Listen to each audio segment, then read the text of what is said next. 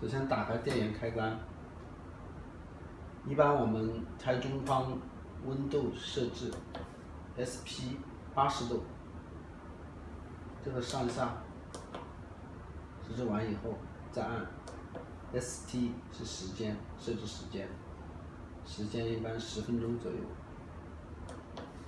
确认，然后打开箱子，将我们要拆的东西放放进。放上面，然后打开风机，开始加热工作。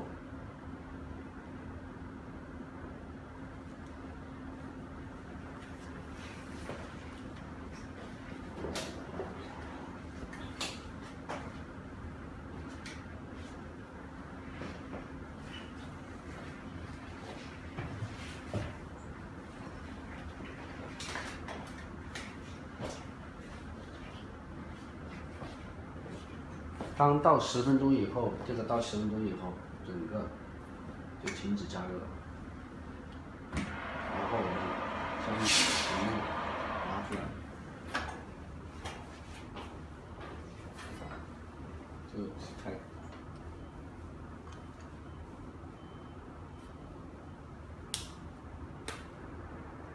慢慢的将屏幕敲开，OK。